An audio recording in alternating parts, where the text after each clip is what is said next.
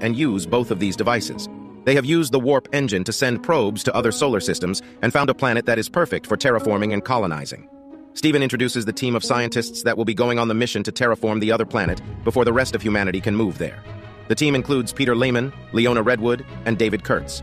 They will be joined on this mission by a military unit, headed by Major Ryan Connell.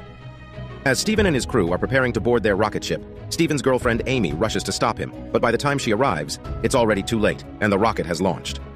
As they prepare warp space and pass through it, Peter and David run a final check on the engine and the sphere. They speculate about the origins of these objects, and while they do, strange patterns and cracks form on the surface of the sphere. The crew all strap in and prepare to enter the wormhole that the engine will form.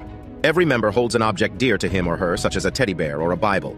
They commence warp drive and the ship enters the wormhole. But as it does, the computer on board reports a critical error, and all the crew members pass out. The ship passes all the way through the wormhole, and once the journey is complete, the crew members wake up and find them